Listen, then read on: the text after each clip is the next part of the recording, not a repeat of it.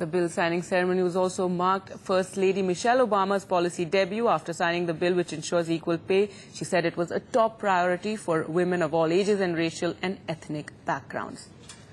Well, uh, news from back home now. Sri Ram Sena Chief Pramod Muthalik, who made headlines after his supporters attacked women in a Mangalore pub, will be questioned by Maharashtra's anti-terror squad. In a speech he made earlier this month, he praised Sadhvi Pragya Singh, an accused in the Malegaon blast case. It's also emerged that crime accused in the blast case, Lieutenant Colonel Purohit, also knew him. A team of the National Commission for Women is also reaching Mangalore. For more on these developments, we're now joined by AM Prasad, IG West. Sir, thank you for speaking with NDTV. At this point, Muthalik is in your custody uh, for the pub, the Malegaon pub attack case. What of his Malegaon link, sir? You see, Muthalik is in the judicial custody, and today we have asked for a police custody, and the court will decide today. Now, he is purely come here for the investigation in the pub attack case. The Malegaon case, we are not doing it, and it is up to up to the ATS to do it. So, we are more concerned with our pub attack case at the moment. Right, sir. So there is news that the ATS uh, wants to question him in the Malegaon case. Uh, what can you tell us about that? In fact, I have still go, uh, got no confirmation, so I am not in a position to say whether they have come or not. But I have no information about it so far. So, sir, are you saying the ATS hasn't contacted you as of yet about the, the how they want to question uh, Muthalik in the Malegaon blast case? No, we have no information. They have not contacted. They have not. Uh, we don't know whether they have arrived in Mangalore so far or not.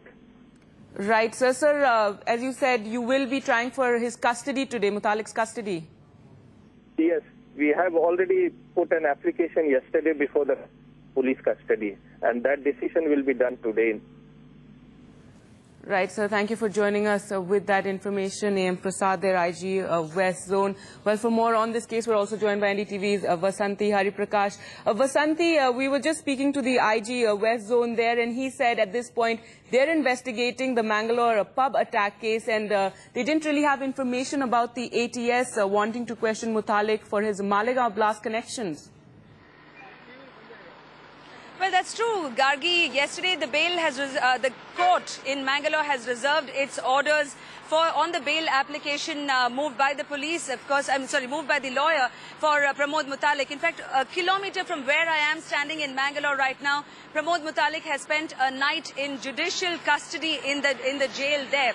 Uh, today, of course, there are uh, expected to be developments. The National Commission for Women, a three-member team, is expected to arrive to probe more on these pub attacks. But then uh, the Malegaon investigations are, are, a totally different story from what the Mangalore police is concerned about.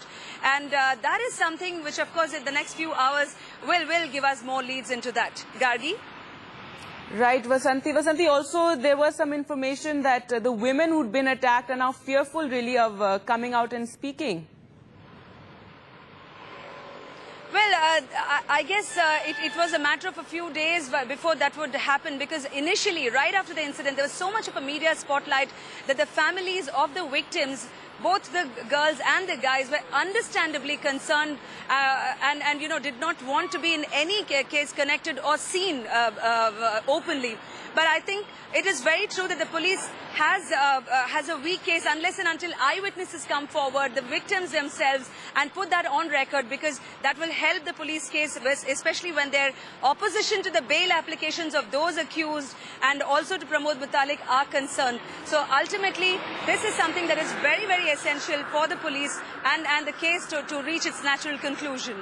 Gargi? Right, Vasanti. Of course, we will keep returning to you as there are more developments in this case. Thanks for joining us there. Uh, Pramod Muthalik, as you know, has been uh, arrested in the Malegaon pub attack case. What's more worrying, however, uh, is that information has been emerging of his possible links to the Malegaon blast case. We will be tracking all those developments, but uh, for the moment, some more